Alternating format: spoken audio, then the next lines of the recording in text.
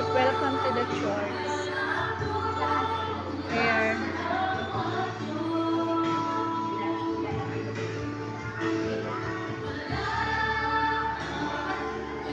Wala pa nag-so good.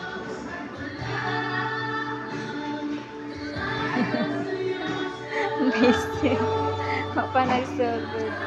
Akong little child.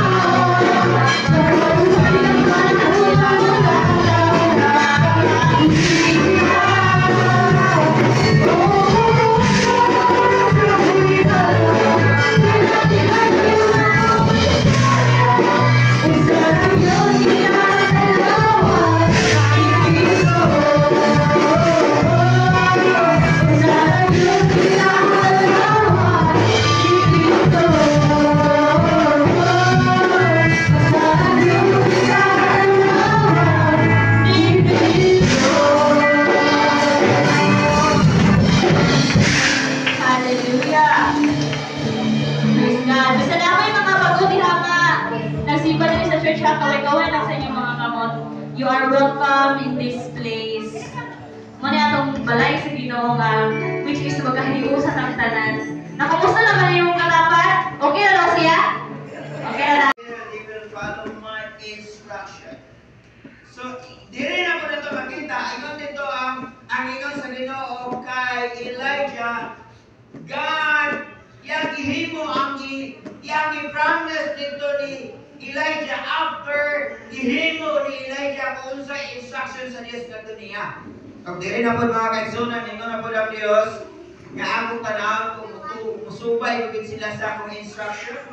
The Lord says to Moses, I have heard the grumbling of the Israelites. Tingnan diri mga kaisunan, tell them, at twilight, magdiri ni ikat to twilight ng tubig. At twilight, mga kaisunan, you will eat meat. And in the morning, you will be filled with bread. Then you will know that I am the Lord your God. Pero in verse 13, Dili eleksyon manok ang ipadalas Ginoo. Kung dili mga di sa may nakakita na yung kwen, mga buntog. Kana na itong paliton nila ang ba? Itlog. Yung kapay nila kayo? Oo, mga pugo. Oo. Ingon diri, kapag ka kami, ang tanan nila mga tan, ipadalaan sa nilo pugo. Sa inan ba ka mga kaisunan, kung nakakay tulog kabuk anak, o opat kabuk anak, pila kabuk pugo yung gihawon. Kapoy kayo paghinlo, kapoy kayo madalang kayang buko wala hikop. Di ba? Imo sa katanaw mga kaisunan na pwede na agad ang Diyos magpadala nila og isa ka mo kumplito nga lechon manok. O ipadagan sa Diyos dito mga kaisunan ang dalahan kayo mga baka dito sa desierto niya mag-ihaw ang dahil po sila. Pwede na po sa Ginoo kay paulan ang tanang lechon manok niya mutungtong sila ito. Pwede na sila mag-isot. Pero nga ano man, because they did not follow God's instruction. Naipipila nila niyon ang Diyos na dapat iligtas Sabado, dublihon ninyo yung kwaon para ay pagka Friday, dublihon yung kwa, pagka Saturday mo sila magsimba. Ang uban, nagdagahan nila gikuhay ko si Lord ng inyong kwaon, ganang para lang karong adlaw. Kaya ako na bahala sa uma. Amen. Dapat masabot mga kaisunan that every day, it is God's responsibility sa papakaon mo. Amen. And I believe, nag-provide na sa Diyos ang atong every need. Pero, ang atong consumption or ang atong provision para uma, ato nagigasto dato miyaging simana. Ora po nay, nakapara sa tuwa. Tungod kay, di ta kabalon mo budget. So, ito mo dapat ayaw na gugut-gut. Anawa! Sige sila kagotot magkaigsunan. Wa ko ko kabalot, pero wala niya ako muna-una ang pumpuy lagi pa nila sa ginoo. Gagmay kaya na mananapa na. Di ba? Kapoy kay maghinlo. Kaysa Pantris, lagi pa nila sa ginoo. Dagko nga mga manok, ipatok mas ginoo. Able ang Diyos, ana, amen?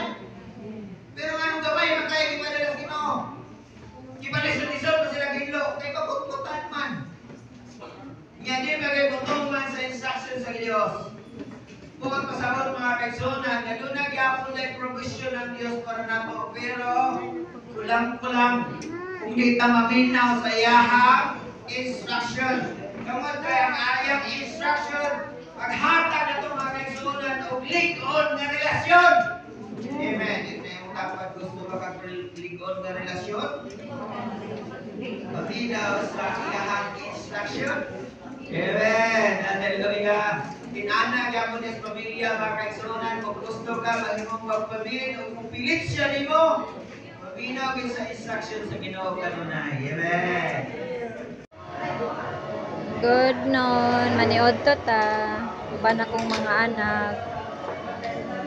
Yan, there is a speaking. Manog simba. Dari mi nangaon. Diretso dire sa crispy cake. Thank you, Jesus.